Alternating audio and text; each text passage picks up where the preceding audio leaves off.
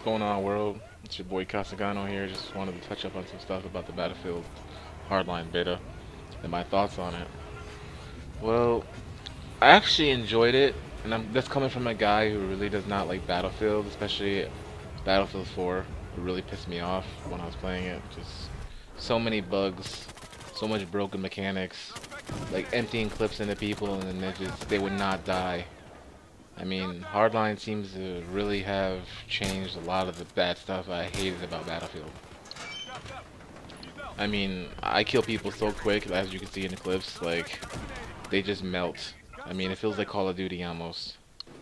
And it's like, it's like if Call of Duty and Battlefield mixed together. You know, the graphics took slight of a hit, but the gameplay more than made up for it. I mean, it's just so much fun to play. I had a blast on the beta. I ended up hitting like level 45 to 50 or something like that. And I played pretty much every map variant, every mode, every...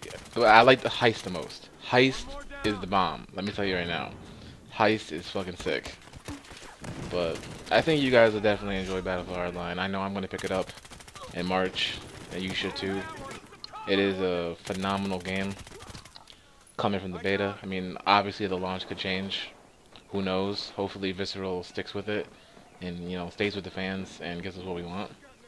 But they seem to be doing a really good job so far, so, you know, let's hope it stays with like that. Anyways, that's your boy. Holler at me later. Leave a like, comment, subscribe, whatever. Thanks again.